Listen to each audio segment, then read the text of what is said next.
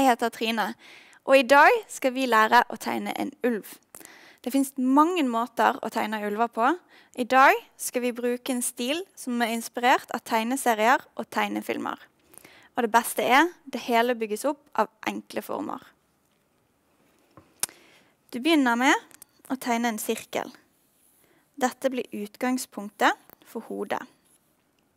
Så tegner du en strek litt under midten og så gjør du det om til en klosse som går litt skeivt. Deretter følger du ca. retningen på klossen og lager en liten tupp her. Så skal vi lage en strek hit og en strek hit. Neste formen vi skal lage, går i ca. denne retningen her. Sånn og sånn. Så følger du vinkel ned og bort. Og så rett ned. Kanskje litt mer sånn. Der tror jeg vi har det. Dette vil være ca. hvor bakken kommer. Eh, nå tror jeg vi skal justere den litt kortere. Og så kan den få lov å følge hele veien ned, sånn som det. Nå blir dette hodet ører, rygg og bryst. Og så skal vi tegne bakbein og forbein. Bakbeina er også først laget med klosser som går ca. sånn. Eller et lite trekanttak. Forbeina skal ikke begynne helt der fremme, kanskje midt mellom den og den streken. Rett ned. Og så gjør du en sånn. Og en sånn. Halen den kan vi ikke bygge opp med harde klosser, så her må du bare gjøre en liten S og gjøre den litt tykkere oppe. Sånn. Nå skal vi begynne å bygge selve ulven. Nå skal vi plassere ca. hvor øyet er. Da lager du en sånn strek som går ca. ned dertil, den midterste streken vi tegnet i sted, og en sånn. Så her blir snuten og panen. så vi gjør sånn. Sånn. Og så mykner vi det egentlig bare opp litt. Ørene kommer til å være ca. her, så gjør en liten sånn. Og der denne delen kommer, så tar du rett opp og ned. Da har du plassert de to ørene. Ulver har jo selvfølgelig litt lengre hår her. Så det er det denne her formen skal være. Så da bare lager du sånn. Og her også skal det være litt ekstra pels, så da ligger du også bare på sånn. Ryggen er selvfølgelig ikke like kantete, så her må du lage en liten en bue. Sånn. Og hver gang en vinkel kommer i bøy, så kan det være lurt å ligge til litt ekstra hår der. Så skal vi ta brystet, og det kan være ekstra hårete. Hvis du ser hvordan jeg tegner pelsen nå, så går det litt i forskjellige retninger. Og ikke alle tuppene tegnes helt ut. Og det kan du gjøre som du vil, men dette er en veldig enkel måte å gjøre det på. Så her skal bakbeina. De er veldig enkle å følge. Litt pels akkurat der, litt pels akkurat der, og ned. For å finne ut hvordan skuldrene til ulven er plassert Midt mellom hodet, gå ned til starten, eller begynnelsen her, av beinet, og så cirka her. Sånn. Så hvis du følger den streken rett ned, og lager en liten sånn til, så har du det nærmeste beinet klart. Men ulver har jo selvfølgelig litt muskler, så du kan ikke bare tegne en beinstrek. Men du trenger heller ikke tegne hele skuldrene, så vi begynner her fremme. Litt frem, og sånn. Og så må vi ha litt inn her og ut her. Dette kan du godt justere hvis du ikke føler det blir helt riktig også her. Sånn. Så skal vi lage tærne. Dette vet jeg for mange kan være litt vanskelig. Men den måten vi gjør det på i dag, så blir det kjempeenkelt. Så da gjør du rett og slett sånn. Du tegner tre streker ned. Sånn. Følger den formen vi allerede har. Og så gir du en liten bøy på hver. Ned, ned og ned. Sånn. Så må du vise hvor foten slutter, og det trenger ikke du tegne så tydelig. Så du bare lager en liten Sånn. En liten hæl. Så gjør du det samme på forbeina.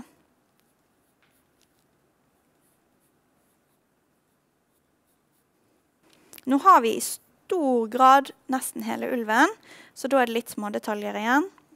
Eh, nesen den kan du enten gjøre sånn, eller du kan gjøre den sånn, eller så stor du vil. Og så er det munnen. Så den letteste måten å gjøre munnen på, er å tegne en strek bort der. Det skal være mye mer på topp enn det skal være på bunn. Og så Min ulv skal smile litt. Og så gir vi han litt pels her. Og inn. Jeg tror nå at jeg har gjort paren litt høy, så jeg skal justere den litt ned.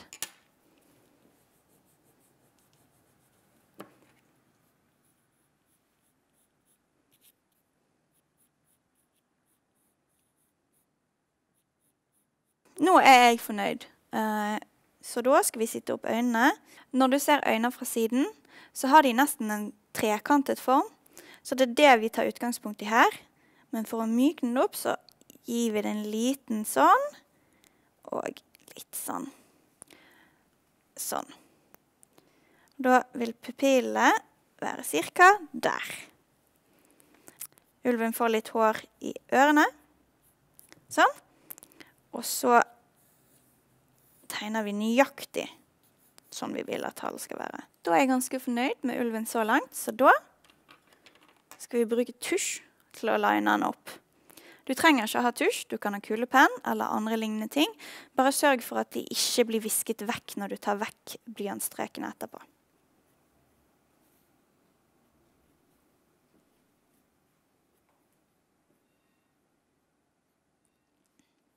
Et lite tips når du jobber med tusj eller andre ting som kan skli utover når du kommer an i det, er at hvis du er høyrehendt, så begynner du på venstre side. Og hvis du er venstrehendt, så begynner du på høyre side, så du slipper å flytte hendene over.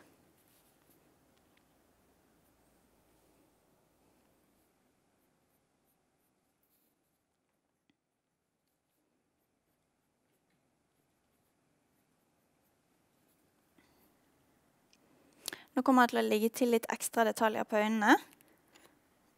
Jeg gjør sånn for å få et øyelokk. Og sånn for å få noe som minner om øyenbryn.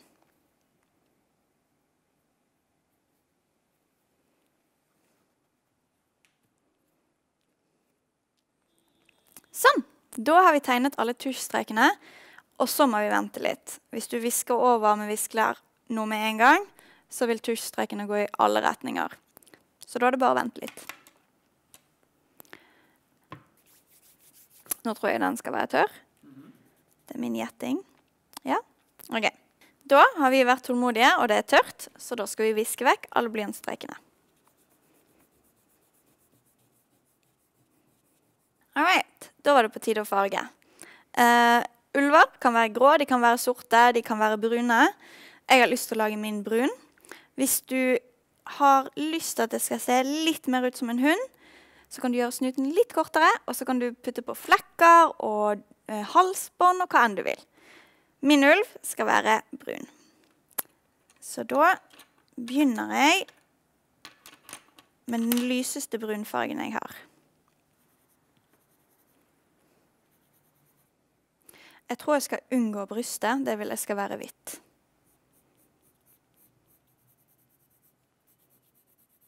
Sånn. Nå skal jeg begynne å skyggelegge eh, pelsen. Eh, å skyggelegge pels det er litt som å skyggelegge hår. Så jeg bruker blyanten i den retningen jeg tror hårene er. Og så smoother jeg det ut. Glatter det ut. Under haken vil det være litt mer.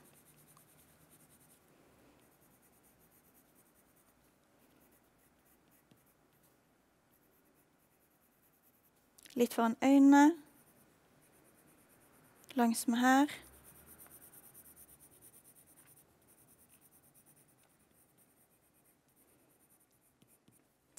Før jeg skyggelegger hele pelsen, så vil jeg sjekke at det blir riktig farge.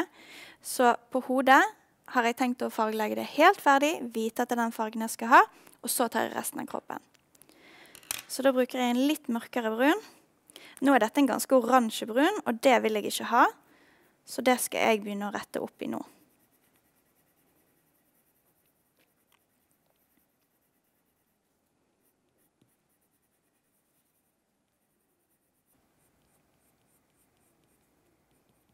Sånn. Det var ca. sånn jeg tenkte meg, så da kan jeg fargelegge resten av ulven.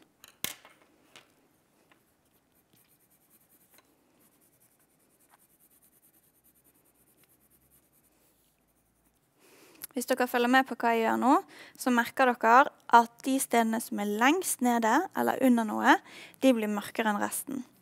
Mellom her er det mørkere.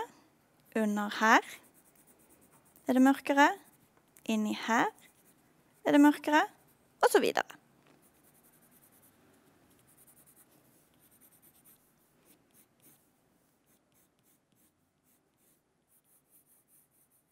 Når man ligger på de mørkeste skyggene, så kan det noen ganger hende at du ser at du ikke har skygget nok resten. Det ser jeg, og da kan jeg gå over det litt til.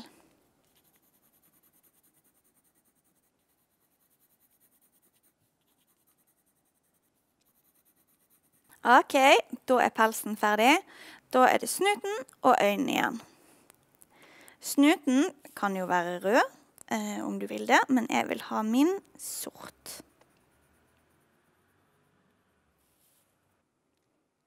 Og så kan du putte sort noen par steder hvis du vil ha litt ekstra skygge også.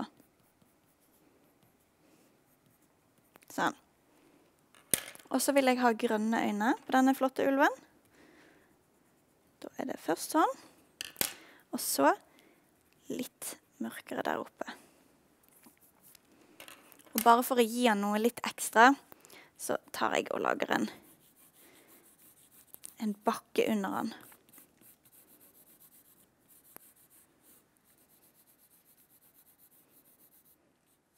En sånn bakke er en grei måte å slippe å tegne altfor mange detaljer i bakgrunnen.